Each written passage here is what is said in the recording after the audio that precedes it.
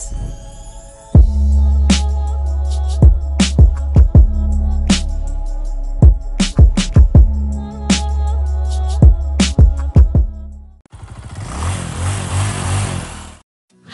Drive and ഡെലിഷിന്റെ മറ്റൊരു എപ്പിസോഡിലേക്ക് എല്ലാവർക്കും സ്വാഗതം. ഒത്തിരി നന്ദി പറഞ്ഞുകൊണ്ടാണ് ഞാൻ ഈ വീഡിയോ സ്റ്റാർട്ട് ചെയ്യുന്നത്. കാരണം വലിയൊരു ഗ്യാപ്പിന് ശേഷം തിരിച്ചു വന്നിട്ടും നിങ്ങൾ എന്നെ പഴയ പോലെ തന്നെ സപ്പോർട്ട് ചെയ്യുന്നത് കാണുമ്പോൾ ഒരുപാട് സന്തോഷമുണ്ട്. ഇന്ന് ഞാൻ നിങ്ങളെ കാണിക്കാൻ പോകുന്നത് ഒരു പുതിയ റെസിപ്പിയാണ്. അതായത് നോമ്പിന്റെ സമയത്ത് എന്റെ വീട്ടിൽ ഉണ്ടാക്കുന്ന ഒരു സ്പെഷ്യൽ റെസിപ്പി പുറത്ത് പുറത്തെവിടെയും ഞാനിത് കണ്ടിട്ടുമില്ല കഴിച്ചിട്ടുമില്ല.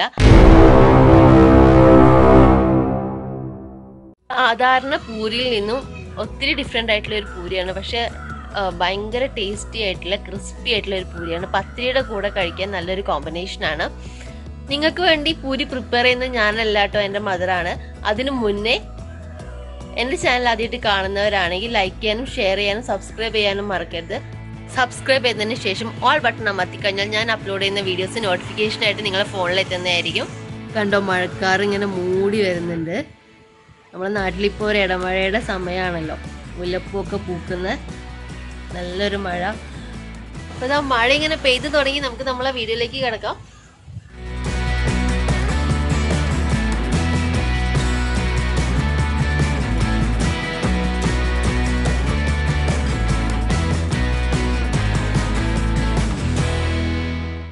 ഇപ്പൊ തുടങ്ങല്ലേ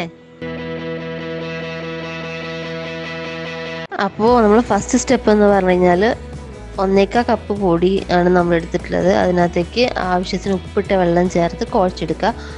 വെള്ളത്തിന്റെ അളവ് പറയാത്തത് ഓരോ പൊടിക്ക് അനുസരിച്ച് അത് ഡിഫറെന്റ് ആയതുകൊണ്ടാണ്. അപ്പോൾ സാധാരണ നിങ്ങൾ വീട്ടിൽ യൂസ് ചെയ്യുന്ന ഗോതമ്പ് പൊടി ആകുമ്പോൾ ഏകദേശം ഒരു കണക്ക് നിങ്ങൾക്കും അറിയുന്നുണ്ടാവുമല്ലോ. അതിനനുസരിച്ച് എടുത്തിട്ട് വേണം കുഴയ്ക്കാനായിട്ട്. സാധാരണ പൂരിയിൽ നിന്ന് പപ്പടപ്പൂരിക്കുള്ള ഡിഫറൻസ് എന്താണെന്ന് ചോദിച്ചു കഴിഞ്ഞാൽ ഇതിന്റെ മാവ് കുറച്ചുകൂടെ കട്ടിയായിട്ട് കുഴച്ചെടുക്കണം. മാത്രമല്ല അരിപ്പൊടി കൂട്ടി പരത്തിയിട്ടാണ് നമ്മൾ ഓരോ പപ്പടപ്പൂരിയും പൊരിച്ചെടുക്കേണ്ടത്. വളരെ തിന്നായിട്ട് പരത്തിയെടുക്കുകയും വേണം.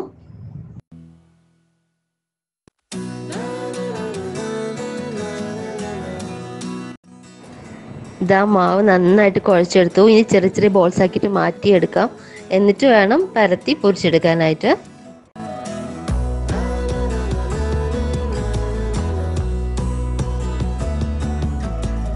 അപ്പോൾ നമ്മളിനി ഓരോന്നോരോന്നായിട്ട് പരത്തി എടുക്കാൻ പോവാണ്. കണ്ടോ ഇത്ര തിന്നായിട്ട് വേണം ഓരോ പപ്പടപ്പൂരിയും പരത്തിയെടുക്കാനായിട്ട്.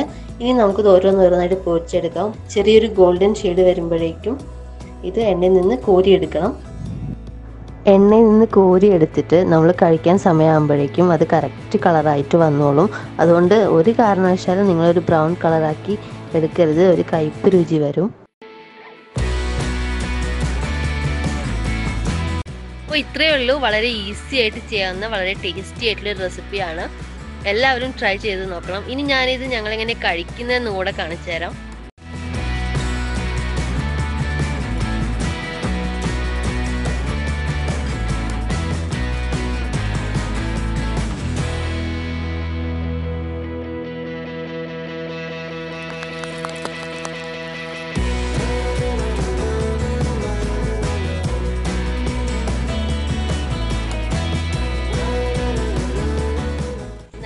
കാറ്റും മഴയും വരുന്നുണ്ട്. അപ്പോൾ ഈ സമയത്ത് ഇപ്പം അവിടെ പൂരി ഉണ്ടാക്കിയിട്ട് രണ്ട് പത്തിരിന്റെ ഇടയിലൊക്കെ വെച്ച് ഇങ്ങനെ പൊടിച്ച് നല്ല ചിക്കൻ കറി ഒഴിച്ച് ഇങ്ങനെ കഴിച്ചാലുണ്ടല്ലോ. അതിന്റെ ഒരു ടേസ്റ്റ് ഒന്ന് വരുന്നത് ഒരു കട്ടൻ ചായയും കൂടി കിട്ടിയാൽ സൂപ്പർ ആയിരിക്കും.